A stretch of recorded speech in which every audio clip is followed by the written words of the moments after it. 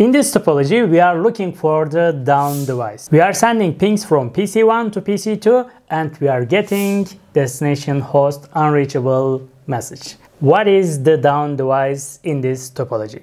Let's look one by one here.